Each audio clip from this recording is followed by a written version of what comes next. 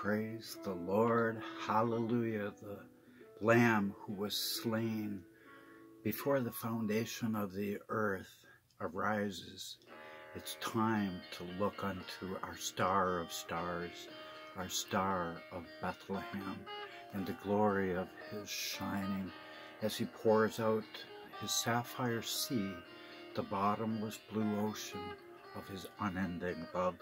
For he says unto all people, Beloved, I am your God. You are my people. I have forgiven all your iniquity, sending Iblis, Satan, Diablo, Beelzebub, Mephistopheles to the pit in these days of Daniel 7 5's great rising bear who hears the words, Now you may go eat all the flesh that you would like. The days of Armageddon are ahead. Eyes, Zechariah said, consuming away in the socket, tongues consuming away in the mouth, flesh consuming away as they stand, as all peoples get ready to go underground. But at this Christmas time, praise God that the Lord wants to cut these days short, and He can if his message of Malachi 3.1 that prepares his way actually goes forth. It has not gone forth in two years from this channel. And the Lord God Almighty says these are days exactly as days of Noah. So you can either have life or death.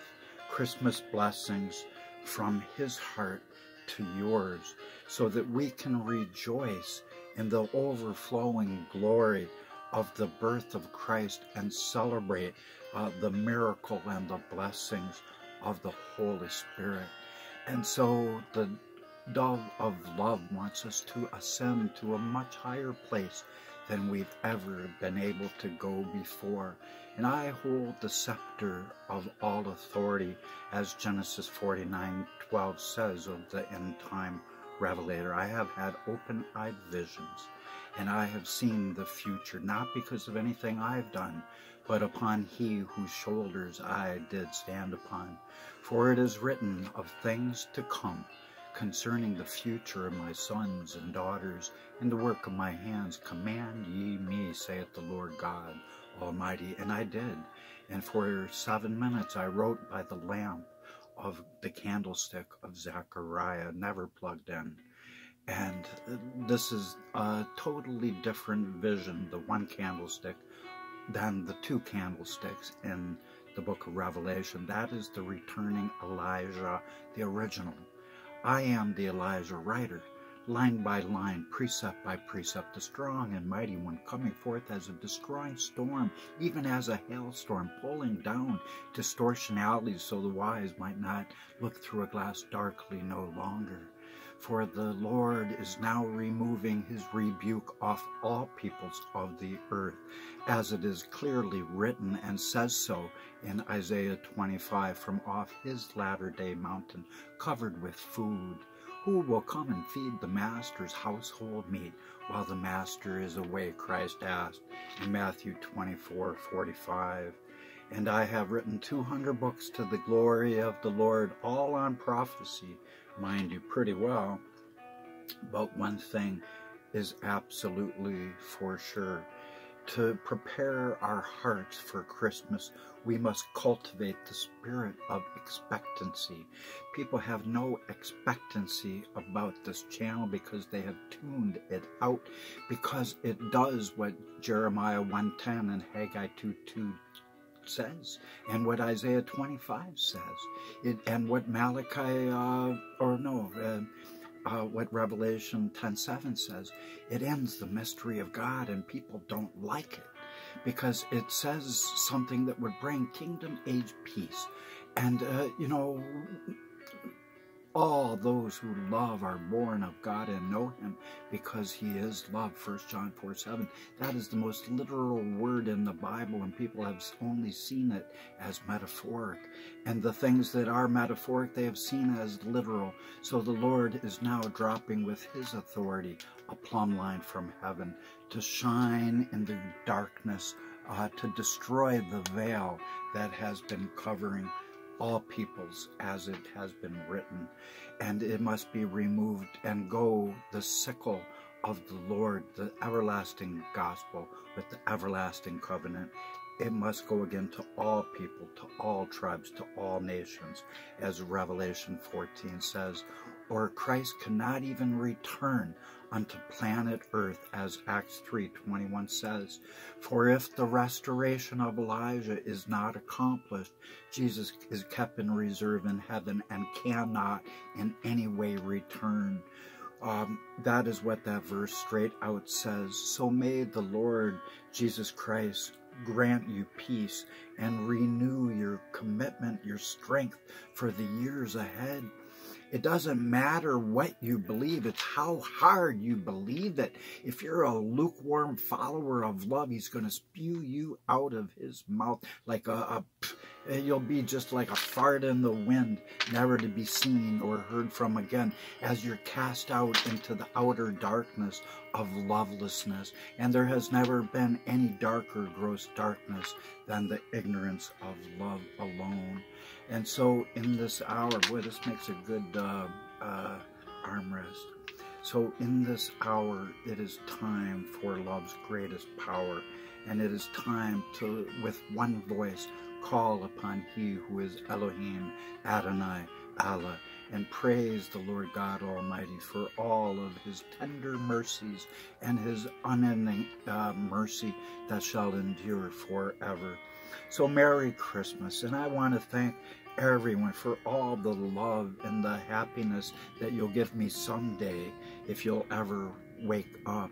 I don't have no one that I've been, uh, will even respond to anything that I've done. Isaiah 40, uh, 9 4 said that I would realize I've done everything in vain. But praise God, Christ didn't. Even in Gethsemane, when he prayed his most passionate prayer, even that was not in vain. And the angel said unto them, Fear not, for behold, I bring you good tidings of a great Lord of love, our Lord of always, our majesty of majesties. And he shall be to all people our King of lords and our Lord of kings. For unto us was born the star of Bethlehem, the, the, the root of David, our Savior, Redeemer, friend. And so in this hour, it is time to rejoice always. And may this blessed season of love, because that is Christ's sacred name of uh, the hidden secret name of Mark that he foretold of Jesus. For all those who worship him will bow down to the name of love. All knees will bow, all tongues will confess love. And may the season of his joy open the door to your heart, for joy is an inside job. And may new opportunities and new peace from his most perfect preparation of peace come to you and bring you success in the years to come as we press into the blessings that the Lord wants to give to your family and to all the families. As it was written in the latter days, God would give his covenant to Israel and all families of Israel and to all mankind. It says so, Jeremiah 31.1 and Jeremiah 32.27. But Christianity erased all of that and said, we are Israel and all the prophecy is for us. And this was never true whatsoever. So may the Lord now fill your lives with eternal joy and unending happiness as people experience enlightenment of all falsehoods of man-made twisted religion that is so unrecognizable the Lord Jesus Christ would not even be accepted in a modern day church. That is how far afield uh, their message is from the truth. But they do have the right cat and he is the roaring lion of Zion, and he's roaring as loudly as a little itty bitty kitty's teeny weeniest whispering silent purr. It's time to listen to the silence be louder than ever before. For if we will not respond with love and a, a discerning heart for his spirit of kindness that is leading the way, then we will all be destroyed according to seven prophecies, including Zephaniah 1 1, Malachi 4 6, Deuteronomy 18 18, Acts 3 21, Matthew 24 22, uh, Isaiah 24. There's more probably, but I dare any of you to look those up. When God says, I will destroy all man and beast and all fish in these days of Noah that are like the fish was not destroyed the first time around people. So it's time to realize that ignorance is not bliss. Ignorance is deadly. And uh, I have yet to find anyone that will stand with me in saying these days are exactly like the days of Noah. People don't want to talk about oblivion. And I seem like a chicken little with his head cut off. But I will not relent, for I have seen the future. So I am sending you beautiful blessings as the messenger of love uh, and listen to the voice of House of Beloved, Shiasa, uh, who is the revealed lady in the days of Satan, Iblis being removed in the latter days, as Revelation 12 does say, and Daniel 12:1. And tune in to Love a Light Red Ruddy for uh, Christopher there in Alberta. He is a man after my own heart. He is an Elisha to my Elijah. And by the way, the original Elijah is still coming back, but he will be ministering death. It is my job to turn the hearts of children to their parents, telling the kids, you got to love your parents with a in spite of kind of love, a through it all kind of love. Otherwise, a if and a but kind of love, conditional love. It's not even love at all. People are deceived all over this world thinking they're loving people and they're utterly loveless because everyone in their life has conditions attached. Uh, they were willing to divorce anyone and everyone, friends, family, mother, sister, uncle, wife, doesn't matter. And so it's time to realize that wide is the way paved unto hell by our conditional love that's never been real, that's never been loyal, dedicated, faithful, that's never been sold out to being willing to even endure long suffering, to be patient and meek and understanding.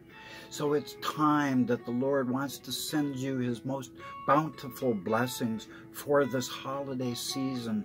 And may you feel peace and fulfillment in all that you do. And may you be showered with the abundance of the spirit realm. For I am introducing you to our priceless pearl of great reward, who is the only treasure of excellence worth having, all the living water of his sapphire sea above. And so may serenity follow you whenever you, wherever you go, and may you have a beautiful season of uh, much overflowing happiness as you do for others, they will do for you. And realize that we need to fake it till we make it. Put on a smile anyways. And go forth knowing that if you fall and when you do, and everyone does, that even if we go two steps forward and one step back continually, we are still going in the right direction. The Lord God sees us not as we are, but as we will be. The second we enter glory, we are sinless as the day we were born. And so the Lord God says unto all of his beloved, which is all people, not committing blasphemy of the Holy Spirit, to kick Christ right out of their chest for he is love. And all those who love are born of him and know him because he is love, 1 John 4, 7. And so in this hour the Lord says, I am your God. You are my people. I have forgiven you, sending Satan Iblis for 1,000 years. And now uh, he, says the, the message of uh, Hab Habakkuk 2 comes the vision because these days of Elijah bring the obsolescence of all religion.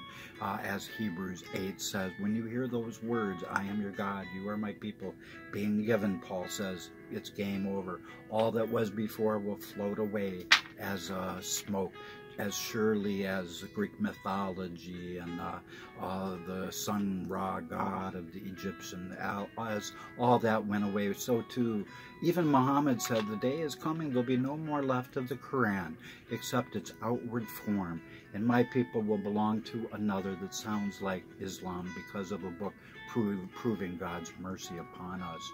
Uh, and that was the word of Muhammad from the Hadith. And uh, that name is Chrislam. That is the name God has given me for Israel now that they have been given their covenant. And the Lord says unto them, And I will write my law of love on your hearts. And Daniel is my lawgiver of love. It is an absolute law. And the Lord says, I'll write that on their hearts, and beyond that, none Nobody will ever even need to be taught of him anymore. For once you realize he is unconditional love over us, there is nothing more to even understand or know about him. The veil has been torn, and this was the mystery of God that has been concealed for 2,000 years. And I bring forth revelation of revelation, or else you cannot restore all things. So it's time that I am wishing you all a season that's merry and bright uh, with the light of God's love burning brightly within. And so, in this hour of love's greatest power, it's time to leave the safety of the shore, and it's time for the dove of love to speak forth. Because you know what? This vision has been written for the appointed time at the end. And at the end it has come. It has not lied. You might behold now my soul, which is not upright. I'm fixing my camera here. But the just will live by my faith. Because I have the faith of the crimson blood of the Lord being spilled, covering this earth like beautiful rubies. And it was said before the foundation of the earth for one and all of us. Behold, the arms of the Lord are not too short to be saved. I am the messenger of the north of Isaiah 41. So the dove of love is now speaking because God's word was only closed until the time of the end. Daniel 12:9 had to reopen for his message of Malachi 3:1 from his covenant messenger of Malachi 3:1, who I am. The Lord Jesus Christ never had those words in his mouth once anywhere in the Word of God. Our sovereign Lord says it's time for a gospel of his very best agape love. So now it's time for a gospel of spiritual love which depths of adoration are deeper than deep. For understanding the purity of godly love goes far deeper than the shallow understandings of everyone lacking everyone lacking a relationship with love because they're walking in the land of the walking dead with only conditional love operating in their uh, in their lives.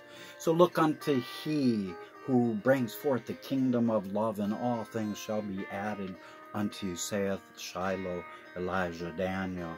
And look unto he that is the distinguished, the prevalent one, and the ultra, for he's additionally the upholder of morality, the preserver of sanctity, and the safeguard of all the faithful, all of his faithful few, whom he calls by our own name, as if we were the only one. And as the arising enlightened looked and heard the word of love herein, more clearly than ever before, they'll discover that the Lord's purest love never knows any measure, for the essence of his love always breaks out above any and all measures. Therefore, truest love never uh, feels any burden, reckons not labors, and always naturally strives to do much more than it ever could really do. Our living love also pleads not any kind of because he judges all things that are lawfully possible to be possible where love is concerned, especially since his shadow always rests where love is, for he is love. Emmanuel, our God with us again, our Lord of love and our Prince of Peace. For his love is merciful concerning all souls, keeping him alive within their chests, especially within this Logos word of his love, which now comes forth by the Spirit of love to bring direction by that Spirit of spirits, having been sent unto all people over the circle of the earth uh, by He who is our beloved, the blessed, and the adored, by He who is our majesty of majesties and our carpenter of the ages, and know that His His restoration of Acts 3:21 the understanding that uh, born again has never been here. It has always been here. And if you can't believe that, you're a stupid frigger because you don't believe none of the Bible. So this is the hour to realize that He alone is the custodian of our prayers, the defender of our feast, the facilitator of the truest faith of unconditional love, because wide is the way paved to hell by conditional love that's always been as shallow as a glass of water. And know also that the Lord's most amazing love uh, is a narrow way of unconditional love paved that way unto heaven. And that is what effortlessly will fill, fill up our emptiness within if we will just receive more of Him and less of us as we will let His light shine for he is the star of all stars that outshines any ever that he has created. And then they will receive his charity, and uh, that they will see that that will become their highest aspiration of all repentive souls who once hated. For our awakened love is. Uh, it, it, our awakened love is always victorious because he is the living victory of all who are victorious living within them. And if they only they won't fall down by impatiently laying down in defeat giving up without having patience because they ignorantly allowed their faith to die. Mine will never stop. I'm just starting you mother friggers who won't like these uh, videos so if you want to be destroyed early, just don't like anything that I fucking do. I am the one with stammering, shocking, scorn friggin' lips, you assholes. So some things of love need to shine clearly. Nor is it too hard to realize why you're to get a shit pie in your eye, diarrhea, crap, shit, Malachi too, in the face of everyone standing uh, in the way of this gospel of the Lord's love. For all vipers of religiosity who will not lift up this name of love higher than ever are mother fligger flubers. So nor is it hard to realize at this Christmas time why all people of love, following in the only way of unconditional love, will find that it is the very best good of all goodness. And that is way, the narrow way is the greatest way uh, with the greatness within any virtues of all those caring deeply for others at all times, under all circumstances, regardless of the temperaments of people in question. And that truth and love go hand in hand according to He who is the imparter of cheer, our entruster of exhilaration, and the presenter of contentment. Uh, but it's impossible for anyone to freely love all the time. There's many people that you won't like, but yet we love them. And it's common for those of light to dislike many sinners or saints. There are saints that I do not like at all, but I love them and in spite of them loving them more than any words could say. So letting go of some negative souls within our lives isn't saying I hate you or I reject you. Instead, it's declaring that people love themselves. Birds of a feather, unfortunately, flow and flock together. And the, the crows got to quit flying with the vultures. And uh, the doves got to quit flying with the eagles the eagles alone will soar far above the condors. So love is something super in all of its way. Therefore, love is the greatest treasure of those with golden hearts. And in these days of the refiner's fire of love, for brass he brings uh, silver, and for silver he brings gold, and for gold he will bring pat platinum.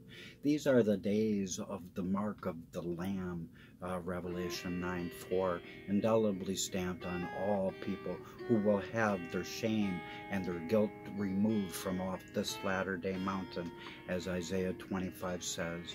For as Jeremiah 31 says, God wants to rip down all unloving religiosity and lift up loving spirituality instead, uh, a faith that will condemn no more. And people reject this channel, those motherfuckers and they alone, the religious people, are holding a key to earthly spiritual affections that they don't even know how to turn. They've locked themselves in. They put themselves into a box and God into a box. Uh, and uh, but they can't see that if only they would learn to open the lock and to find freedom, that that would bring such treasure that outshines any ruby, any sapphire, or diamond, no matter how glorious they might shine. For this is a, a, a time of love like never before. And for love gives nothing but itself away, and it takes nothing away from anything other than itself, because purest love possesses not, nor could it ever be possessed, since such an amazing, unselfish love is always sufficient unto love. And so know in this hour that Christianity is the biggest cult that has ever been. They do not have the God of the Bible, who is the God of all mankind, Jeremiah 32, 27. They do not have the good shepherd over all the flocks of man, and Jesus does not change ever. Uh, and that is uh, John 10. And they do not have a God of true love, unconditional Bible kind of love, patient love, long suffering love. They don't have that. They got a God of condemnation and judgment, and that's a false God. And lastly, they got a God who is a respecter of man. They have built uh, their God in our own image, a God that is a respecter of men, that loves them best. If you don't believe that Jesus is love like they do, uh, that's it for you. He's going to hate you forever and ever. So people, wake the fuck up.